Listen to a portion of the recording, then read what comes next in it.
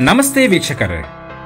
IPL ಇತಿಹಾಸದಲ್ಲಿ cup ಗೆಲ್ಲದ ತಂಡಗಳಲ್ಲಿ royal Challengers Bengaluru ಕೂಡ ಒಂದು. ಪ್ರತಿ ಬಾರಿ ತಂಡದಲ್ಲಿ ಸ್ಟಾರ್ ಆಟಗಾರರ ದಂಡೆ ಕಾಣಿಸಿಕೊಂಡರೂ ಟ್ರೋಫಿ ಎಂಬುದು ಆರ್ಸಿಬಿಗೆ ಮರೀಚಿಕೆಯಾಗಿ ಉಳಿದಿದೆ. ಅತಿರಥ ಮಹಾರಥರಂತಹ ಆಟಗಾರರೇ ಆರ್ಸಿಬಿ ತಂಡವನ್ನು ಮುನ್ನಡೆಸಿದರೂ ಕಪ್ ಗೆದ್ದುಕೊಡುವಲ್ಲಿ ಯಶಸ್ವಿಯಾಗಿರಲಿಲ್ಲ. ಇದಾಗಿಯೂ ಮೂರು ಬಾರಿ ಫೈನಲ್ ಪ್ರವೇಶಿಸಿದರೂ ಅಂತಿಮ ಹಂತದಲ್ಲಿ ಎಡವಿ ಚೊಚ್ಚಲ ಬಾರಿ ಚಾಂಪಿಯನ್ ಆಗುವ ಅವಕಾಶವನ್ನು ಕೈತಪ್ಪಿಸಿಕೊಂಡಿತ್ತು. ಇದೀಗ ಕೊಹ್ಲಿ ಪಡೆ ಹದಿನಾಲ್ಕನೇ ಸೀಸನ್ನಲ್ಲಿ ಚೊಚ್ಚಲ ಬಾರಿ ಪ್ರಶಸ್ತಿಗೆ ಮುತ್ತಿಕ್ಕುವ ವಿಶ್ವಾಸದಲ್ಲಿದೆ.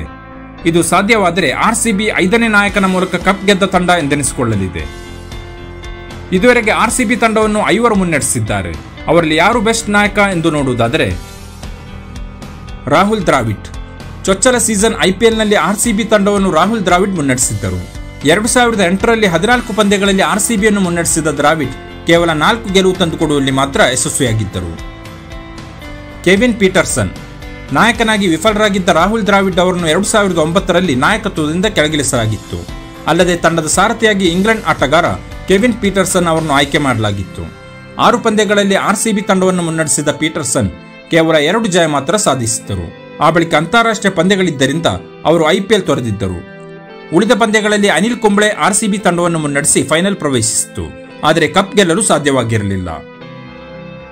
ಅನಿಲ್ ಕುಂಬ್ಳೆ ಎರಡು ಸಾವಿರದ ಒಂಬತ್ತರಲ್ಲಿ ಅನಿಲ್ ಕುಂಬ್ಳೆ ಅವರ ನಾಯಕತ್ವದಲ್ಲಿ ಆರ್ಸಿಬಿ ಭರ್ಜರಿ ಪ್ರದರ್ಶನ ನೀಡಿತ್ತು. ಹೀಗಾಗಿ ಎರಡು ಸಾವಿರದ ಹತ್ತರಲ್ಲೂ ಕುಂಬ್ಳೆ ಅವರನ್ನೇ ನಾಯಕನಾಗಿ ಮುಂದುವರಿಸಲಾಗಿತ್ತು. ಎರಡು ಸಾವಿರದ ಒಂಬತ್ತು, ಎರಡು ಸಾವಿರದ ಹತ್ತರ ನಡುವೆ ಆರ್ಸಿಬಿ ತಂಡವನ್ನು ಮೂವತ್ತೈದು ಪಂದ್ಯಗಳಲ್ಲಿ ಮುನ್ನಡೆಸಿದ್ದ ಕುಂಬ್ಳೆ ಹತ್ತೊಂಬತ್ತು ಗೆಲುವು ಸಾಧಿಸಿದರೆ ಹದಿನಾರು ಪಂದ್ಯಗಳಲ್ಲಿ ಸೋಲಿನ ರುಚಿ ನೋಡಿದ್ದರು. ಡೇನಿಯಲ್ ವೆಟ್ಟೋರಿ ಎರಡು ಸಾವಿರದ ಹನ್ನೊಂದರಲ್ಲಿ ಆರ್ಸಿಬಿಗೆ ಮತ್ತೆ ನೂತನ ನಾಯಕನ ಆಗಮನವಾಯಿತು.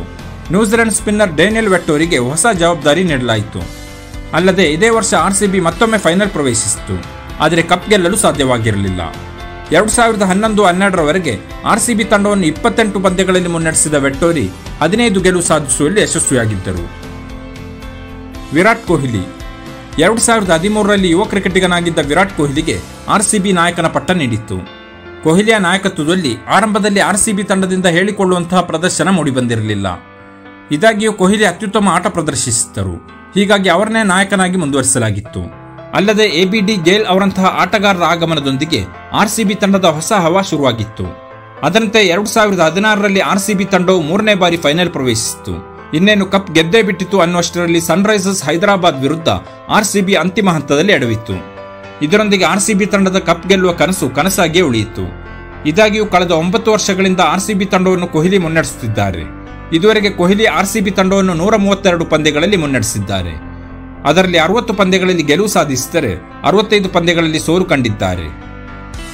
ಅಂದಹಾಗೆ ಆರ್ಸಿಬಿ ತಂಡದ ಬೆಸ್ಟ್ ನಾಯಕ ಯಾರು ಎಂಬುದನ್ನು ನೋಡುವುದಾದರೆ, ವಿನ್ನಿಂಗ್ ಪರ್ಸೆಂಟೇಜ್ನಲ್ಲಿ ಅನಿಲ್ ಕುಂಬ್ಳೆ ಐವತ್ತೇಳು ಪಾಯಿಂಟ್ ಅರವತ್ತೊಂಬತ್ತು ಪರ್ಸೆಂಟೇಜ್ನೊಂದಿಗೆ ಅಗ್ರಸ್ಥಾನದಲ್ಲಿದ್ದಾರೆ.